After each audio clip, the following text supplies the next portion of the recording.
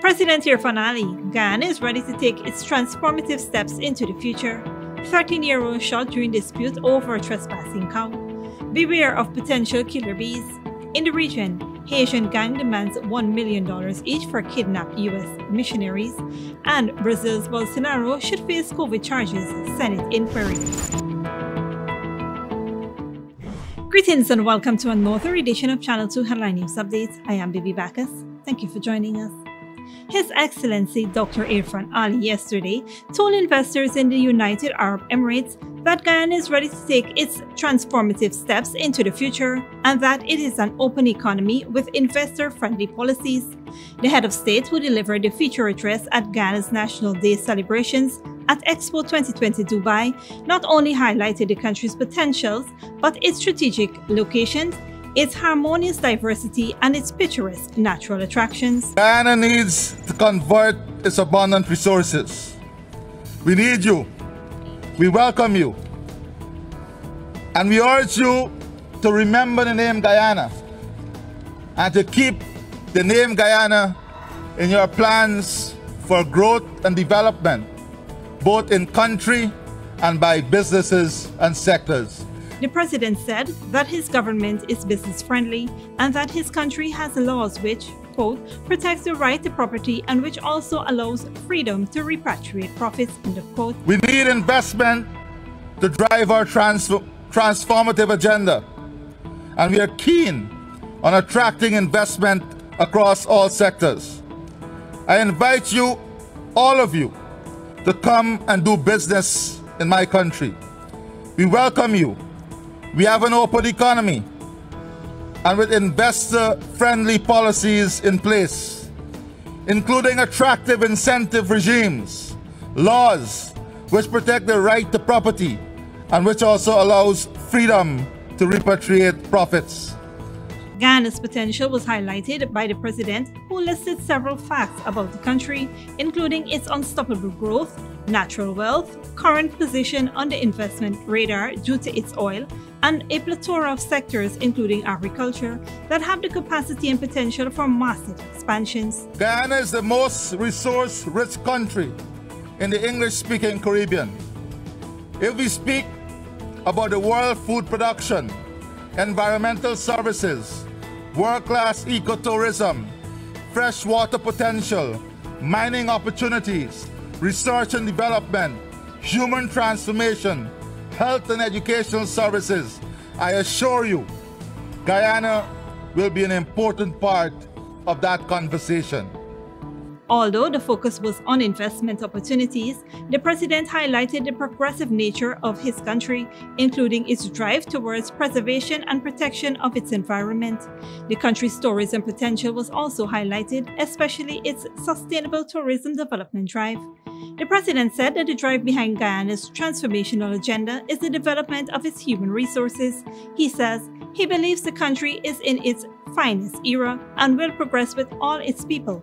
The country is being prepared for its fastest and most explosive economic and social transformation. We want to ensure a prosperous country where our people can enjoy high standards of living, including a 21st century education and world-class health services.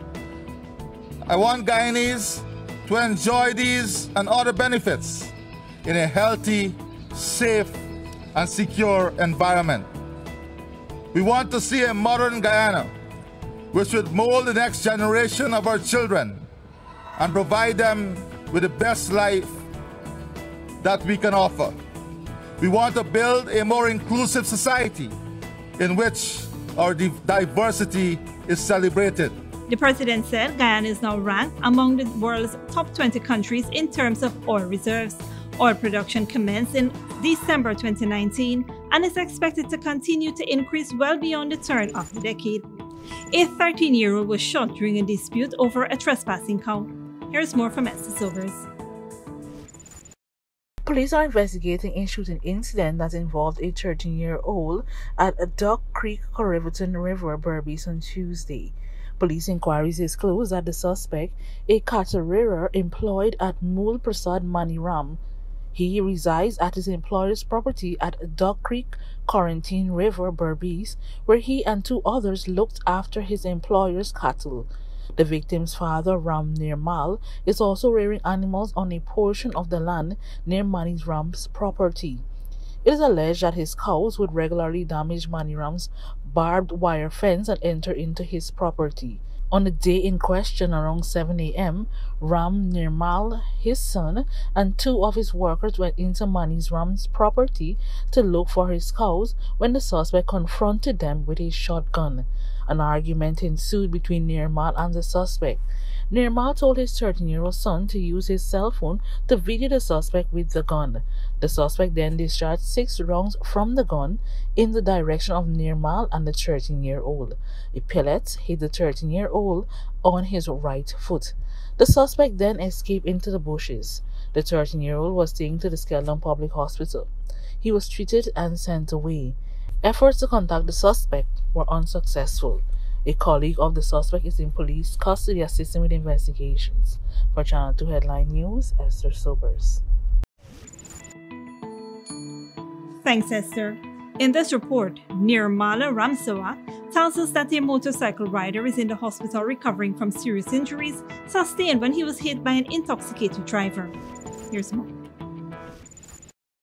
A motorcyclist is now seriously injured after being involved in an accident on Monday night at the La Bonne Intention Access Road on the east coast of Demerara. The injured man has been identified as Randy Rutherford of Rasville, Roxanne Burnham Gardens, Georgetown. He is currently a patient at the Georgetown Public Hospital suffering from an amputated left hand, a broken left foot, and other injuries to his body. Inquiries disclosed that around 10 p.m., motorcar PRR 3440, driven by Sachin Bishwa of Mon Repos, North East Coast Demerara, was proceeding north on the access road. Motorcycle CH 1819, driven by Rutherford, was proceeding south along the road and overtook a lorry. It is alleged that he lost control and collided with the left side front of the motorcar. As a result of the collision, Rutherford fell onto the roadway and received injuries to his body. He was subsequently picked up in an unconscious condition by Bishwa and police ranks and taken to the Georgetown Public Hospital. He was seen and examined by a doctor on duty and admitted as a patient. Bishwa was later arrested and taken into police custody. A breathalyzer test which was conducted on him showed that he was above the legal alcohol limit. A notice of intended prosecution has not yet been served. Inquiries are in progress. Reporting for a headline news update, Nirmala Ramsewak. Thanks, Nirmala. Stick around after the break. Brother of Ganesh Persaud calls on authorities to devise alternative methods of preventing similar crime and beware of potential killer bees.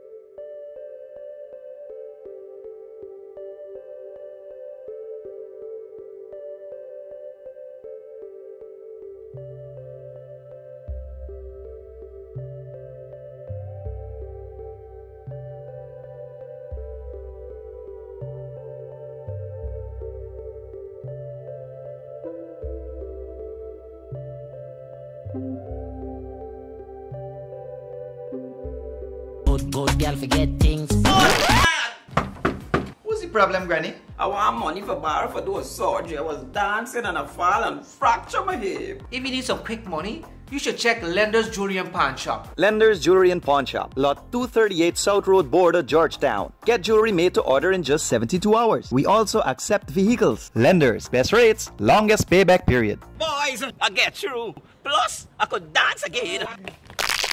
Lender's Jewelry and Pawn Shop. Welcome to Kissoon's Furniture. Find everything you need for your home and more under one roof in our newly decorated showroom. Our locally crafted furniture has been perfected over the last 60 years. Our hands to your home, we also bring to you our newly introduced lines of imported furniture and sleep center, where you can find a wide range of beds and mattresses. Kissoon's Furniture, furnishing homes for over 60 years. Alabama Trading has everything you need every day. The best brands at the lowest prices. And right now, you can save much more on a larger range of food products and everyday essentials. Choose from our extensive array of fresh and packaged food items. Plus, there's a huge variety in ladies' handbags and accessories, children toys, backpacks, and school bags, bicycles, rugs, outdoor and indoor furniture, cleaning and sanitizing products, and so much more. Alabama Trading. Better products, better prices. When you need money and you've gotta get it fast, Creative Jewelry and Pawn Shop is the place for that confidential transaction in a quiet and secure location. You'll get the highest value per pennyweight for your gold and also enjoy the lowest interest rates and longest payback period too. Yes, for that instant transaction to solve a pressing financial problem. That Creative Jewelry and Pawn Shop, 46 Boyle Place, that's between the Ministry of Housing on Brickdam and White Castle Fish Shop be your first and only choice. Creative Jewelry and Pawn Shop, safe and sound, solid and secure, always there for you. Telephone 231 7878 and 223 8955. Smart Minds Educational Institute, offering preschool, nursery, and primary levels. Finally, a school that is every parent's dream. Located at 69 Crow Street, offering academic excellence, trained qualified teachers, small class sizes, personalized gear, and one-to-one attention for your little ones. At Smart Minds, register for full-time or evening classes, daily practice pass exam papers for proficiency at the grade 2, 4, and 6 assessment, and CXC exam preparedness, or join our Becca Phonics reading and writing program. So if your child is for preschool, nursery, or primary level, come to Smart Mind, located at 69 Street, or call 231 4885 or 600 9229 to enroll now.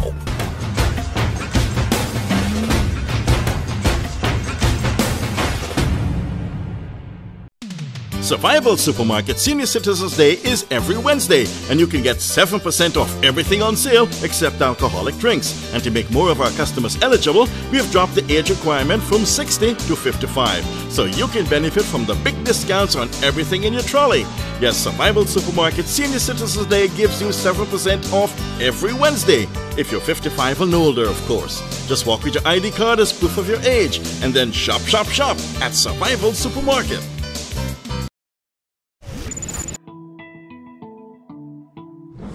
Welcome back. Be on the lookout for possible bee attacks along the coastline, with a pensioner being the most recent victim of a suspected deadly bee killing. Dale Jarvis has more. A 66 year old pensioner was found dead on Monday, October 18th at the Montrose Seawall, East Coast, Demerara, with what appeared to be bee stings all over his body. Around 5 p.m. on Monday, the body of Hanif Mohammed of Montrose, East Coast, Demerara was found motionless at the seawall. The deceased was last seen alive on Monday around 8 p.m. by residents. According to reports, on Sunday, October 17, swarms of bees attacked several residents around the Montrose East Coast Demerara area. As a result of the attacks, a bee catcher was alerted to tend to the bees. On his arrival, he discovered the deceased was laying motionless on the ground. He was then picked up by public spirited people and taken to the GPHC where he was pronounced dead on arrival. Residents in Berbice and on the East Coast Demerara in particular are urged to be wary since several persons in those areas have recently been attacked by bees, with several dying as a result of the stings. Reporting for Headline News Update, Dale Jervis. Thanks, Dale. Police in Linden arrested a 13 year old and a 17 year old juvenile for allegedly robbing a 36 year old female security guard at knife point at the Christianburg Nursery School in Wismar, Linden on Tuesday, October 19th. According to police investigators, around 11:50 p.m., the victim who was on duty at the Christianburg Nursery School was in the guard hut when she was confronted by three suspects, one of whom was armed with a brown handle knife. The armed suspect then entered the guard hut and took the victim's black cell phone valued at $43,000 before fleeing to the back of the compound. The security guard raised an alarm and her colleague, who was in another guard hut, gave chase and was able to capture one of the suspects. As a result, the police were summoned. The suspect was arrested and taken into custody and questioned. However, he later assisted the police investigators with further investigations, which led to the arrest of a second suspect. Meanwhile, a third suspect is currently on the run. Further investigations are currently ongoing. In this report, the brother of Ganesh Persaud gives an account of the last moments of his brother and requests that the appropriate authorities devise an alternative method of preventing similar transgressions. Nirmala Ramsewak has more. The brother of 20-year-old Ganesh Persaud, who was killed during an armed robbery last Friday at Trasve on the east coast of Demerara, said his brother would have celebrated his 21st birthday yesterday if he was not stopped multiple times. In an interview with Headline News Update, Andrew Persaud recounted the armed robbery of his brother's store deals on electronics. Around 3.30 p.m., 24-year-old Kapil Dogangadin entered the store and requested to view a music equipment. After making the request, Ganesh attempted to exit through a half door to show the murder suspect the equipment, but Gangadin ripped out a knife and stabbed him six times in the upper body, leaving Ganesh unconscious. Gangadin robbed Ganesh of two pieces of jewelry worth approximately $2.5 million and an undisclosed amount of cash before fleeing the scene. Shortly after, Ganesh regained consciousness and walked over to a nearby shop to his father seeking medical help. He then concluded to his dad that he didn't think that he would be able to make it. He later died as a result of his injuries while being rushed to the city hospital. Ganesh Persaud older brother said, quote, My brother had big dreams. He was to launch another one of his business ventures on Christmas Eve day later this year. End quote. He further stated that his mother, who is still in a state of shock, was out of the country seeking medical treatment when the tragic incident occurred. His father is still finding it much harder to cope. Subsequently, the suspect was caught by law enforcement officers and taken to the Vigilance police station, where he later confessed to the killing. Like, me know this thing happen so fast, me just, me think, me just get in my mind, I know me go somewhere, me go, mm. and when me go, me go, Kapil Dogangadin appeared in the Cove and John Magistrate Court on Wednesday. He was remanded to prison on two counts of murder. Gangadin was charged with the fatal stabbing of Ganesh Chris Persaud on October 15, 2021, and the murder of a 24-year-old fisherman Mukesh Mangra on January 18, 2020. Additionally, Persaud's brother is calling on the relevant authorities to come up with an alternative solution to eliminate crime in Guyana. He added that too many innocent lives are being lost. An autopsy conducted on the remains of the young businessman on Monday at the Georgetown Public Hospital mortuary revealed that Persaud died as a result result of an incised wound to the neck. Persaud leaves to mourn his mother, his father, and older brother. Reporting for Headline News Update, Nirmala Ramsewak. Thanks, Nirmala. Don't go away after the break. Haitian gang demands $1 million each for kidnapped U.S. missionaries, and Brazil's Bolsonaro should face COVID charges, Senate inquiry. But before that, here's the bridge retraction schedule.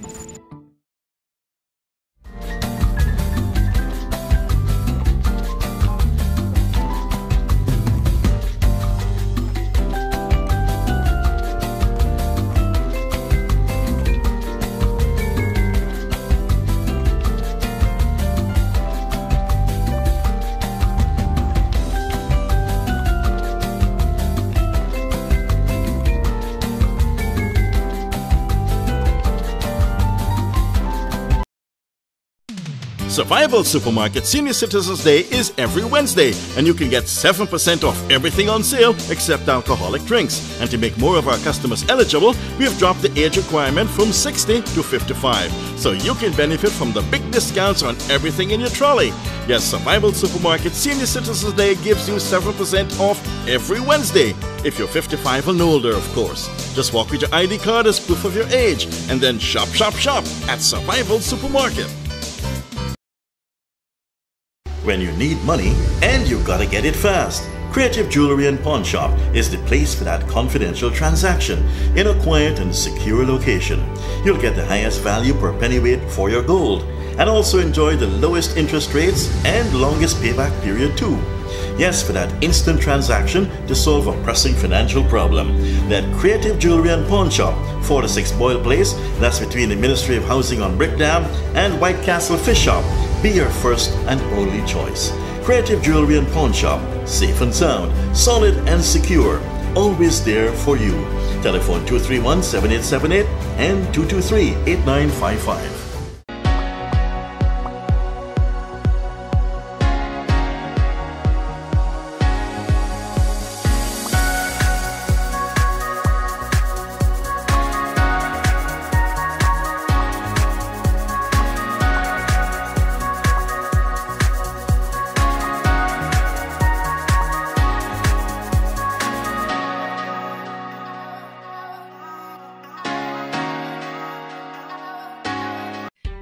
Trading has everything you need every day.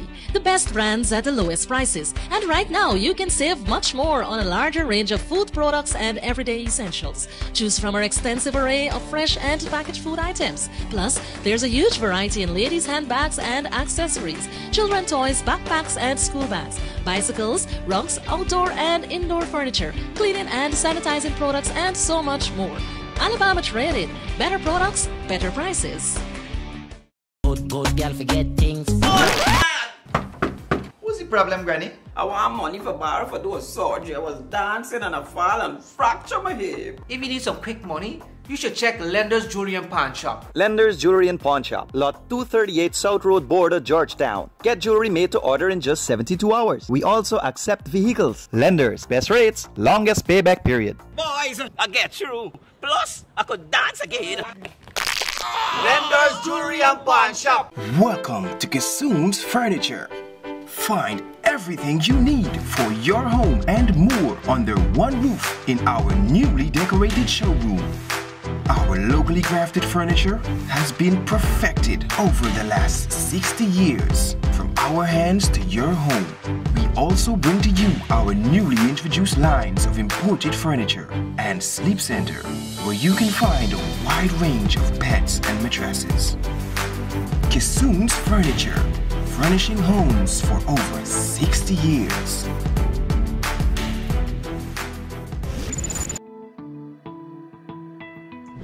Welcome back. Now we take a look at news in the region and around the world. A gang that abducted 17 Christian missionaries in Haiti has issued a ransom demand. It is asking for $17 million from Christian Aid Ministries, a United States based religious aid group for the 16 Americans and one Canadian. Al Jazeera's John Hendren reports. A Haitian gang has put a price on the lives of 17 missionaries taken captive in Port au Prince $17 million. The ransom amounts to a million dollars for each of the five men, seven women, and five children captured by a group called 400 Mawozo as they were building an orphanage. It's a risk Haitian missionaries now face daily. It is like living in a war zone. You don't know when you're going to get shot at, you don't know when you're going to get kidnapped. That is a very real concern here in Ohio, where many in the religiously conservative Amish and Mennonite community consider it their Christian mission to fund advancements abroad even as many of them live much as they did in the 19th century. The ransom demand is a drop in the bucket for an organization that brings in $130 million a year in donations from around the world. But now Christian Aid Ministries has an ethical decision to make. Do they pay it and risk funding the kidnapping machine in Haiti? Or do they refuse and risk the lives of the missionaries they sent there? At the White House, President Joe Biden is getting updates on what is both a crisis for the missionaries' families and a criminal case. The FBI is a part of a coordinated U.S. government effort to get the U.S. citizens involved to safety. Armed gangs have stepped up their campaign of kidnapping, extortion, and sexual violence across large parts of Haiti. U.S. officials say they've been trying to help the government cope with the problem we realize what a priority this is for the people of Haiti, and that's why uh, we have provided funding to the tune of $312 million uh, in assistance uh, over the last decade alone uh, to strengthen law enforcement and capacity uh, of the Haitian National Police and to maintain peace and stability uh, throughout the country. Even so, U.S. citizens have been repeatedly warned against visiting Haiti because of the violence and instability. President Jovenel Moise was assassinated in July, and an earthquake struck in August. U.S. based Christian Aid Ministries is just one of dozens of religious groups doing work in Haiti. Some are now asking whether the U.S. should send in troops to rescue the missionaries, or whether the United Nations needs to expand its peacekeeping operations in a nation where hostage taking is now, on average, an everyday occurrence. John Hendren, Al Jazeera, Millersburg, Ohio. A congressional committee in Brazil is set to recommend mass homicide charges against President Jair Bolsonaro, which includes the intentional failure to tackle the coronavirus, not acquiring vaccines early on, and peddling bogus treatment, which led to the deaths of hundreds of thousands of people. Al Jazeera's Monica Yanakiew reports. The last day of hearings and the most painful of all. Outside Brazil's Congress, hundreds of white handkerchiefs, a symbol of tears shed for the victims of the pandemic. They were hung in Rio de Janeiro's iconic Copacabana beach when Brazil reached the tragic milestone of 600,000 deaths by COVID 19, the world's second largest. The handkerchiefs were then carried in a box to the capital, Brasilia, by taxi driver Márcio do Nascimento, whose son died more than a year ago.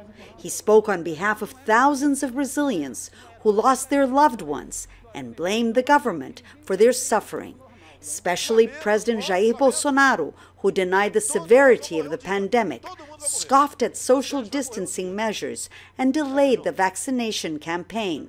Eu acho que nós merecíamos um pedido de desculpa. I think we deserve an apology from the highest authority in the country. This is not about politics. It's not about belonging to one party or another. We're talking about people's lives. É, é, é política, se é de um partido, se é de outro. Nós estamos falando de vidas. He's not alone. Nurse Mayra Pires was working in Manaus, Brazil's gateway to the Amazon rainforest, when the city ran out of oxygen. Her brother and sister died, leaving four children in her care. A bit of common sense and humanity on the part of those who govern us could have helped avoid such tragedy in the Amazon. Student Giovanna Gomes Mendes spoke on behalf of Brazil's 120,000 COVID 19 orphans. She lost both parents within two weeks and was left alone with her 10 year old sister and no means to support themselves. We had friends and family who helped us, but many do not, Giovanna said. The government, she claimed, should be financially responsible for them. The result of this six month parliamentary inquiry of the government's handling of the pandemic will be a 1,200 page report asking for the indictment of at least 70 people, among them President Jair Bolsonaro and his sons. Many in Brazil believe it will have no impact. This investigation will lead nowhere. The report needs to be examined by Brazil's Attorney General and it will probably end up in a draw. But the vice president of the Senate committee in charge of the investigation told us they will try to get justice for the victims by all means, even if it means turning to the International Court.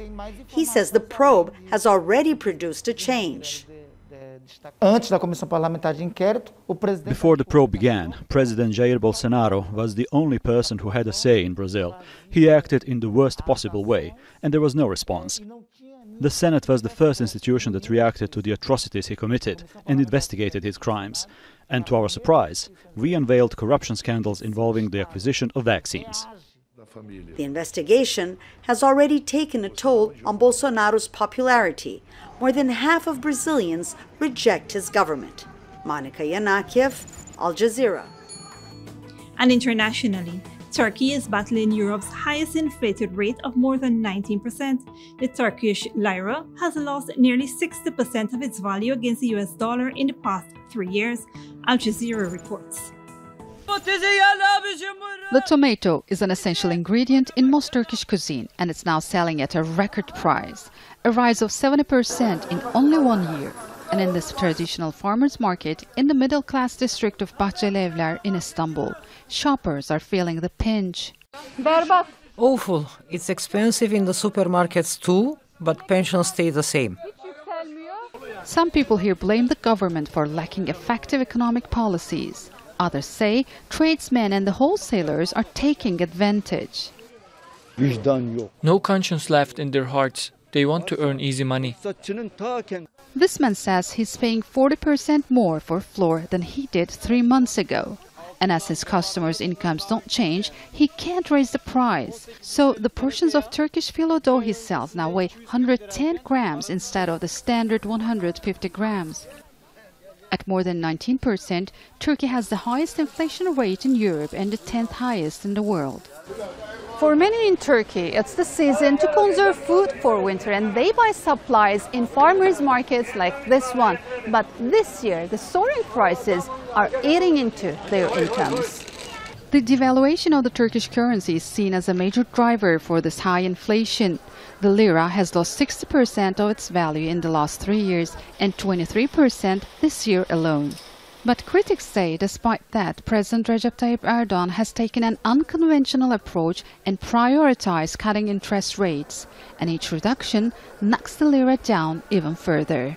The government doesn't prefer a high exchange rate, but it aims to stimulate the economy and give easy access for finance to increase exports and employment.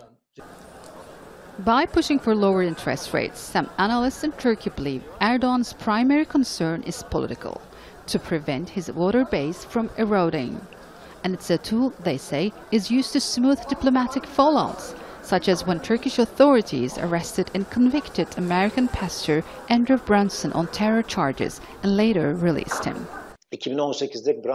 After the diplomatic crisis in 2018, the government was forced to increase the interest rate to stop the lira's fall. Then, with a new central bank governor, they had premature rate cuts, which caused a credit balloon and high inflation.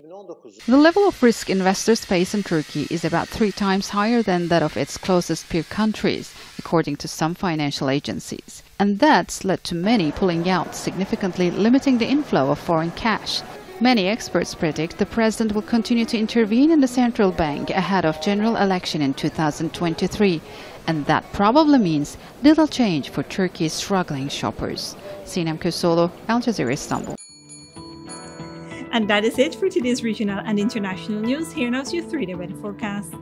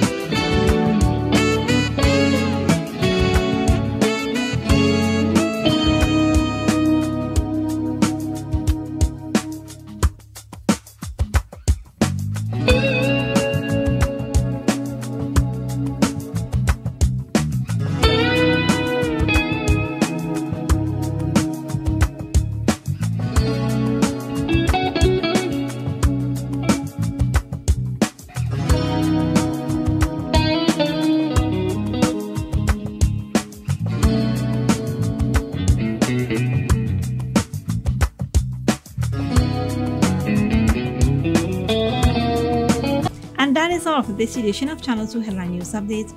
Tune in on Thursday at 7 p.m. for another episode. Be sure to subscribe, like, and follow us on Facebook and YouTube. Until then, please take care of yourself and each other.